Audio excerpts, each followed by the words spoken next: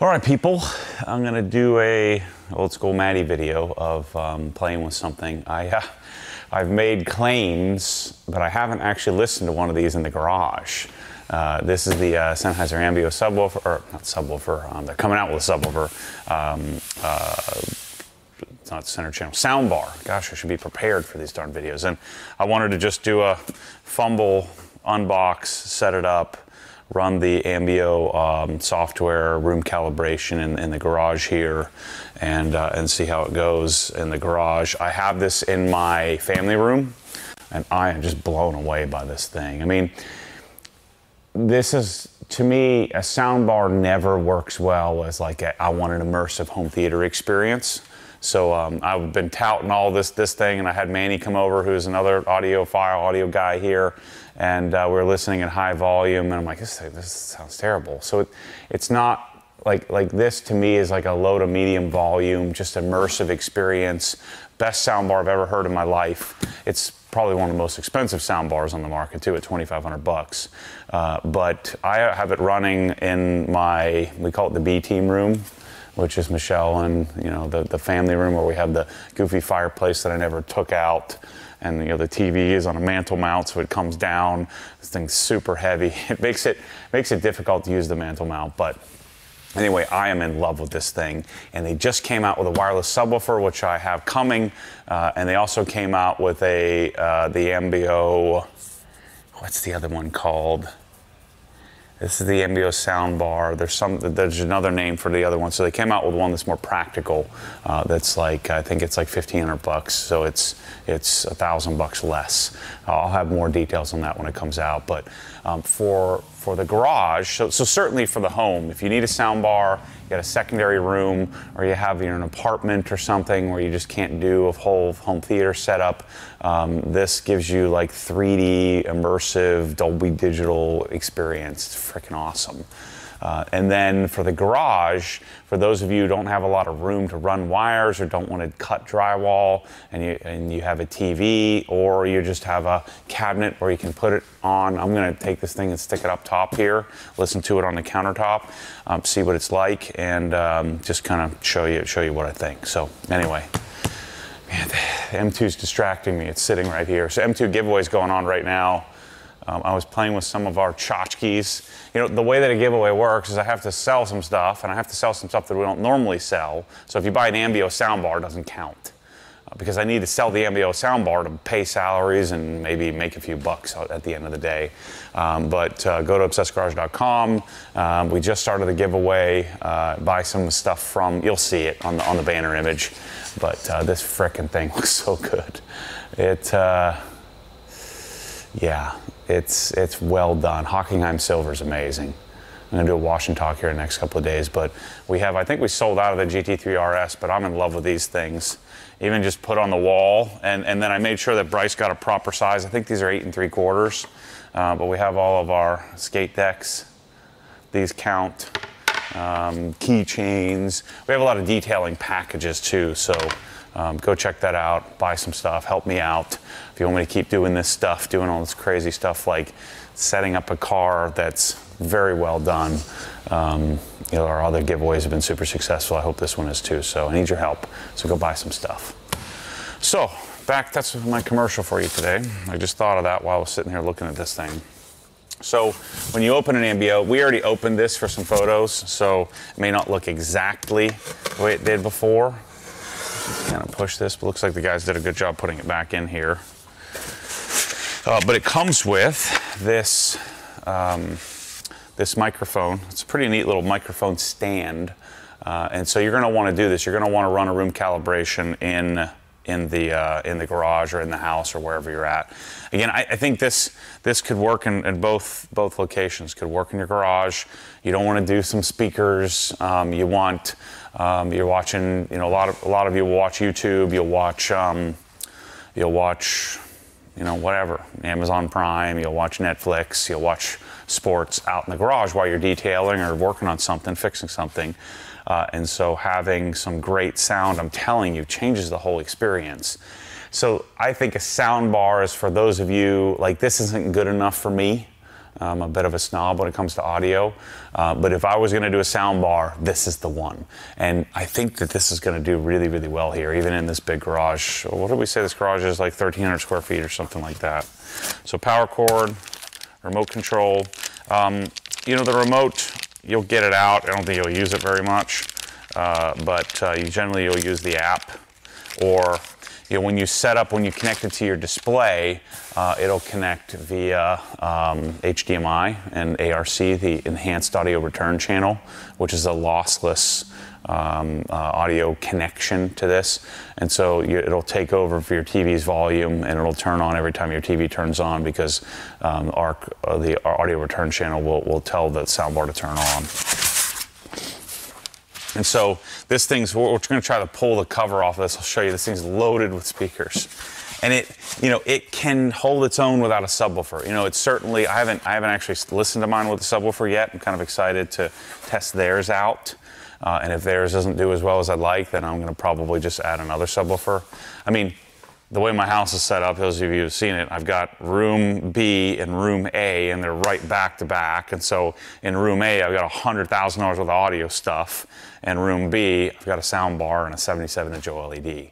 So do I really need a subwoofer in there? But I'll watch that display. You know, Michelle and the kids don't give a crap, but I'll watch that display when I'm cooking something in the kitchen or cleaning, washing dishes or something like that. Or, um, just, you know, occasionally I'll, um, you know, I'll watch something in that room just because I'm too lazy to go in the next room. So, this sucker weighs a freaking crap ton. So, if you want specs, just go to obsessedgarage.com and read the specs or watch YouTube videos from nerds who don't know anything about this stuff. Um, I'm going to give you my take, like what I think, not, not a spec sheet. I find those videos that spec where they're just talking about the specifications are freaking worthless. I want somebody who knows what they're doing, who has listened to a lot of stuff. Just tell me what to do. So that's what I'm going to do. I know what I'm doing. I have listened to tens of thousands of speakers. Yeah, that's a little aggressive. Thousands of speakers, at least hundreds of speakers, probably thousands of speakers in my, you know, many many years of messing with this stuff. But this thing is, this thing. So keep in mind, this thing is a gosh darn tank. I mean, I think it probably weighs about 70 pounds. We can look up the specs, but it's freaking heavy as crap. Let's try not to drop it on the ground here because I do this. Uh, this this one here is going to Helen, so this will be used in the. Um, I think I'm going to use it where am I going to put it? In the in the game room downstairs. It's connected to an A series. I'm going to get a 77A OLED and uh, put that in the uh, game room so we can watch football and things while people are playing ping pong and messing around in the game room. All right, there's a little manual and stuff here. We we don't need a manual. We're we're uh, we know what we're doing here. So it'll come in this box and it'll come in another box. We stock these. We're stocking and shipping them.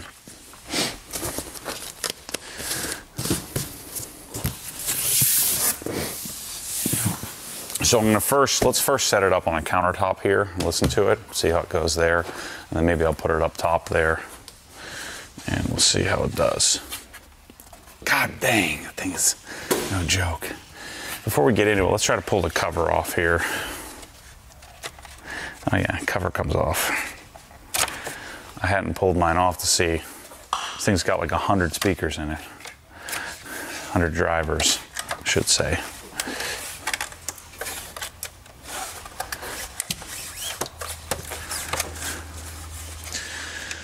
So the magic of this, I think, is a combination of quality drivers the only thing I don't love is I believe it's an aluminum dome tweeter. I wish they would use soft dome. But you have some pretty solid feeling drivers and then of course you have a you know a pretty sizable pretty substantial cabinet this is uh, aluminum on top here and then you have the grills for the, the ported grills i think there's a port behind here um, but this the structure of the cabinet is, you know, it feels like it's a $2,500 thing. Like the weight, size, the technology. You have one, two, three, four, five tweeters, one, two, three, four, five, six woofers. Um, they would you know, very likely be crossed over at different different levels. But I think these little these little three inch drivers I mean, this thing plays down to something like 40 hertz. I mean, you could get away with not doing a subwoofer, um, but but again, any any speakers, even large tower speakers, I think you know, even these these uh, monster, um, which have a nine-inch woofer in them, these Core 59s still still can can utilize the subwoofer and do well with it. So connectivity. So if you're thinking about connecting this Obviously, to your TV, you would just run an HDMI cable. They give you an HDMI cable that comes in the box. You might need something longer. Um, but the connectivity is down here on the back. So you have power, USB, Ethernet. So, you know, if you do have Ethernet, you know, connected, I mean, I don't see what advantage you'd gain from that. Here's your HDMI, your eARC. E stands for enhanced. So the enhanced audio return channel is the latest, is the newest version of audio return. The enhanced audio return channel will pass lossless uh, Dolby Digital Plus, uh, was it DTS, uh, DTS EX. Uh, it'll pass that um, and uh, pass it to, to the um, to the sound bar, and then you have uh, HDMI 2, HDMI 3. I'm not sure why you would need I guess, for Blu-ray because because what I would do if, if you were connecting, let's say you had Apple TV, you had a Blu-ray player, and so whatever other source, I would run that. Now that we have enhanced audio return channel, the way to do it to, help with um, with syncing issues uh, is to run. Uh, run all of your HDMI's into your display, into your, as long as you have a modern, like a newer, newer display, newer TV, then just run the single HDMI into this thing. So I wouldn't mess with one and two. It has optical in, uh, has a subwoofer pre-out, which is key, uh, and then has the um, has a, an auxiliary input if you had something else. So if you had this set up in the garage, I mean, you could you could um, connect like uh, you could connect like a Bluesound node to this if you really wanted to. So if you wanted to just set up high res audio because this is going to connect via Bluetooth. Uh, it's not going to connect, uh, I don't think. I'm pretty sure this will not connect through the Sennheiser app. We're going to play with that here in a minute. I don't think you can connect high res audio to, to this thing. And, and I think this is worthy of, of high res audio. It's going to kind of mess it up in that you're not going to get like traditional stereo because it's going to do its 3D sounding thing. Um, but I think that. Um, if you really wanted to improve your, your, your sound quality, you could put up put a node or attach a node to this thing. You don't, you don't need an amplifier because this has it.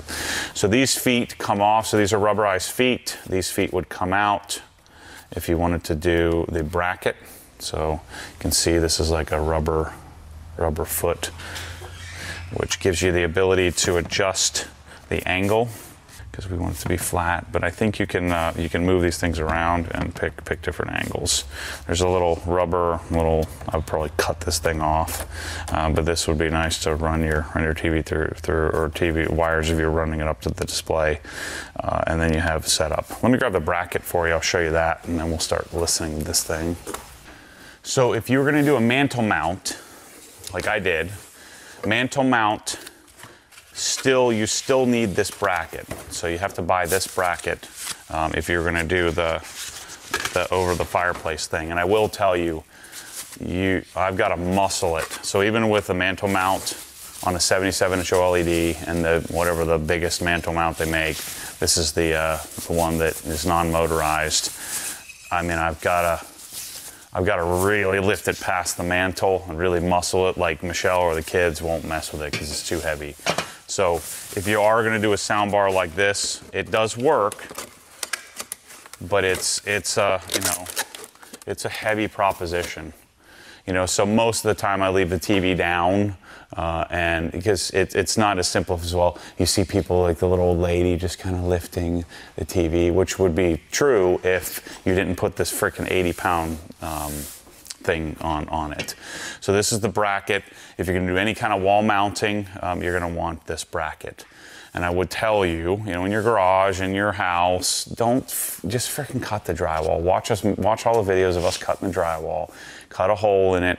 Go get one of those little orange brackets. You can get like a little, little, little, uh, little wire feed, th- feed through thingy, little brushed thing we could feed you if we wanted to put a wall plate on. Generally, it's going to be behind something, but you know, you would cut you would cut out a hole and fish the stuff through, and then you know use the bracket. So the feet come out, bracket goes in. It's uh, powder coated, pretty solid. Uh, and has several, you know, mounting points. And if you had some weird spot with for with studs that, or it was offset or something, you could just drill drill the holes in this. I wouldn't be afraid to drill holes wherever you needed to put some lags. And you put some lags into your studs, or put some Tapcons into uh, the block wall for those of us, those of you that have block walls in your garage. So let's hook it up and see what it sounds like. Gosh, this thing is solid, man. It's so different. Yeah, I'm a big fan of the Klipsch, you know, the Klipsch soundbar setup, but this is on a whole different level. This thing is no freaking joke. Let's put our put our cover back on. So there shouldn't be any reason why you would need to take this off. I wouldn't I wouldn't mess with it if you weren't making a video. Just leave the I guess it does come off and go on pretty easily. Seems like shouldn't be any issue with that. I'd just be afraid of breaking a tab on your. And they don't sell this thing to replace it, so probably be pretty hard to get. So it's kind of nifty how the grill like has little indentations where the speakers are. I don't think I've ever really seen that. Like you run your hand across, you can't really see it unless you catch the right angle. I, in fact, I didn't even notice that when I, the one at my house. But there's little little concave divots on the on the speaker. Oh, let's plug it in. It's interesting that, despite this fact, this thing probably draws a decent amount of juice. It just has like a little typical cable box remote or um, power cord. Be a grown up if do this right now. This is this is Maddie's tip. If you have a receiver, you have some sort of audio equipment, and you've left the sticker on, like you've left this sticker on it. This is mine, so I'm taking this off now. You know the one on the front that says like all the, you know, it's like the thing for display, and you you didn't realize it. Go take that sticker off right now. Oh, dang it. Oh, luckily they put the proper kind of glue on here that comes right off. See how much better that looks? That's my tip of the day. That is a microcosm of your what your brain looks like, like in your brain. How you know organized things are. It's a microcosm of everything in your life go take the sticker off of the front of your of your audio equipment. It's a microcosm. It immediately tells me if you have it on there that you have no idea what you have or what you're doing. Maybe you don't care. It's probably better. It's a better life to not care about that kind of stuff. But yeah, it's called Smart Control. So you want the Sennheiser Smart Control app. I'm going to add a device because you want to go and do all of the, uh, you want to do software updates. Looking for a device. Ambeo soundbar. Boom. Remind me later. All right, Whip Tidal Connect. I didn't realize that. All right, I stand corrected.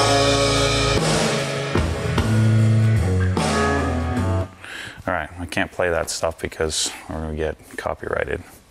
So Dolby Atmos, that's true. It's Dolby Digital Plus and Dolby Atmos uh, DTS X.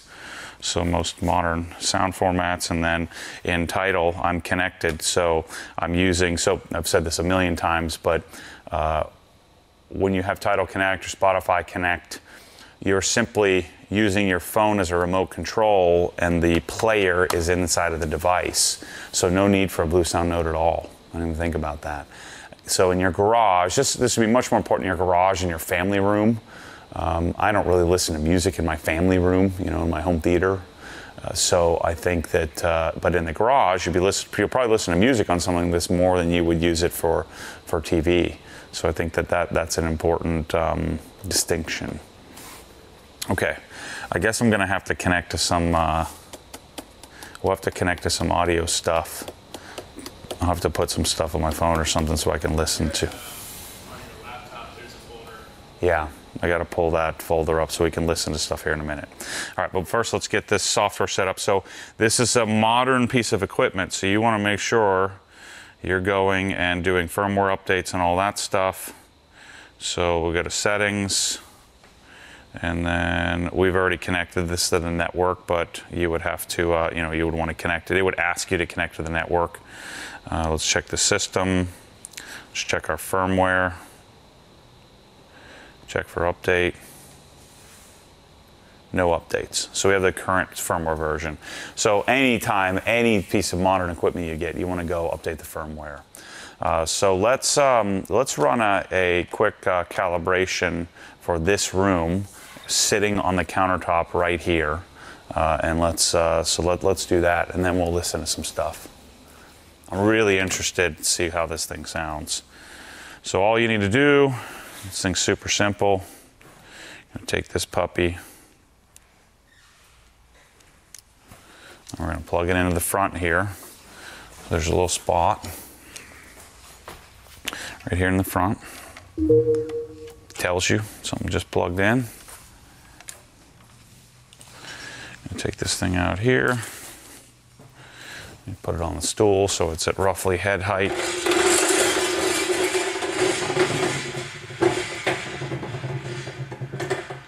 So in a garage, you know, I would pick a location, like a central location around the car somewhere.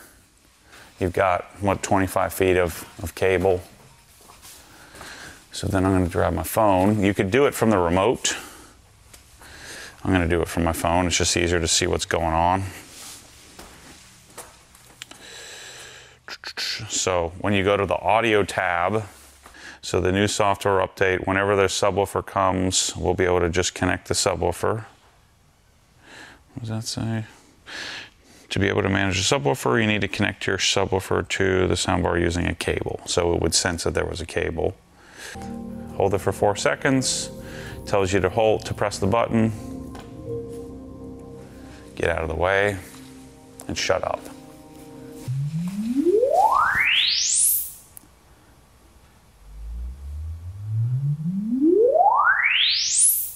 All right, so now it's processing. So in the app, you'll be able to turn the Ambeo calibration we just did on or off. You'll probably leave it on.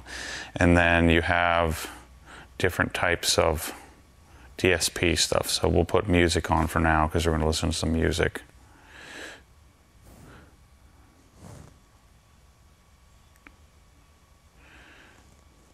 Really simple, really well done app. You shouldn't really need to worry about standby on and off. So this is why I say, you know, the, the remote control is kind of pointless. I just put the remote control in the, because you're going to use your TV or your Apple TV remote or whatever remote you're using to change volume. Um, in your garage, I guess maybe you might use it, um, but I would. You're going to just use your phone because you're going to connect to Tidal Connect or Spotify Connect anyway. So what I'm to do once it's done processing here, I'm to listen to some stuff because I want to hear what this sounds like in a garage. And then I'll come back to you. We'll cut. I will come back to you, and then I'll, I'll listen to some stuff on camera, which is freaking stupid, but I get yelled at if I don't do that. And then um, I'll give you my assessment. All right. So I spent I don't know two or three hours just hanging out here in the garage listening. I put the thing up top here I'm not playing music for you. It's a freaking waste of time. I sat in here. You're going to have to just take my word for it uh, because you listening on your iPhone speakers is pointless. So here's my take in the garage. So, and this is very similar to what I experienced when, um, you know, when Manny came over and I was jamming on this thing. So, aluminum dome tweeter, not my preference, not my favorite. Um, the reason why I brought this in the store immediately was because I think that this needs to be the sound bar of Destination OG for anybody who has a secondary system. This is not a primary speaker. This is not something that, if you're an audio guy, if you're even 50% of an audio guy, uh, 50% of the audio guy that I am, um, this is not your primary listening device. This is not your primary thing. This is your B team room, like we call it. This is maybe in your garage where you're just doing some passive listening. What this doesn't do well at is really high listening volumes. It gets kind of bright uh, even after the Ambeo calibration. Um, it's it's um, it's not something I really want to watch a movie loud. But I'm telling you, at that low to mid volume, um, when I was over here listening, I was second guessing my choice because I was jamming on it at near max volume and without a subwoofer. Uh, and I'm thinking, you know, this thing is kind of bright. But then I turned it down and um, I was sort of assessing my thoughts. I got sidetracked on some emails and I had music playing for like two hours, just at a you know moderate to low volume. And it's darn incredible what this thing produces. Uh, and so my advice to you, and I know this is counter to probably what Sennheiser would want me to tell you or what um, people expect uh, you to say, I mean, I sell this, I like this, I own this, I'm keeping this one, and this isn't for sale. This one is going in another room.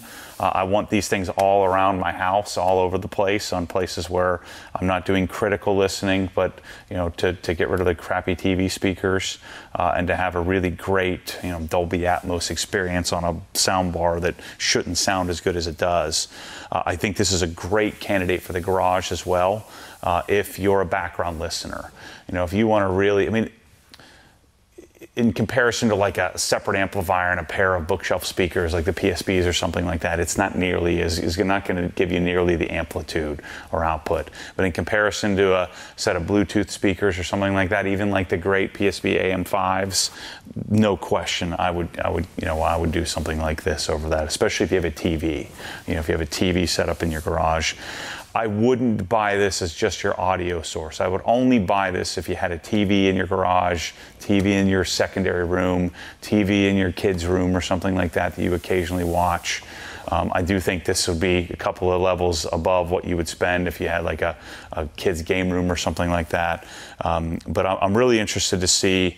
Um, I've been running this in my family room without a subwoofer. I'm really interested to see how the Sennheiser, Sennheiser subwoofer does because it is lacking a little bit in the bottom end. If you if we improve the bottom end a little bit, I think it will also take away a little of the brightness of it as well. Um, I'll, I'll find the need to turn it up less. But for casual music listening. I think most of you that aren't like super audiophiles like will really enjoy. I'm just giving you sort of my take on this, but if you're not super, you know, you're not used to super high-end audio, this thing is going to blow you away.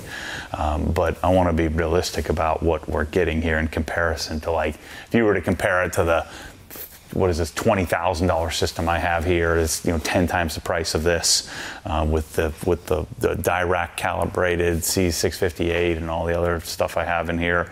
No no con- no contest. But if I had a if I was just coming in here and I had like a 65 inch LCD TV, I connected it to it, and then I could do Tidal Connect and I could do Spotify Connect. It's killer, absolutely killer. And for your secondary room in your house, just it's unexplainable how good it is for that for that purpose. So another thing to note: um, this will not accept through Tidal Connect. It will not does not have an MQA uh, decoder. Uh, or encoder, I guess it would be. Uh, and so you're going to play high res hi fi, uh, which is you know closer to CD quality. Uh, so you're going to be playing that off a Tidal, not, not, uh, not MQA. So, in conclusion, Sennheiser Ambeo uh, this is the $2,500 version. They're going to be coming out with a lower end version. Uh, you want this, I think, in your garage if you're a casual listener and you want some really great audio. Uh, the best, well, this performs best is at low to mid volumes. Now, when I say mid volume, I'm talking about near uncomfortable. Super high volumes, I would want to do something else. If you like to really jam out and listen to music a lot, this is really great for a TV setup. You know, you're going to put a TV in the garage, you're going to put a TV in the, in the secondary room. Uh, that's where this thing comes in. I'm excited for a less expensive version, a little lighter weight version to come out as well to complement this with a lot of the same software, a lot of the same capability. Uh, so stay tuned for a video on that. Uh, and then I'm pretty sure the subwoofer options that they have, you can run two of them at the same time. So we could do a like a flanking subwoofer setup. And I don't think we need to run any wires. I think it will communicate wirelessly through the smart control app. So I'll be sure to update you on that. So those will be coming, and they will bolt onto this this center channel or this uh, sound bar as well. So. Sennheiser Ambeo's up in the store. Um, appreciate if you buy this stuff from me. I know you can buy it anywhere.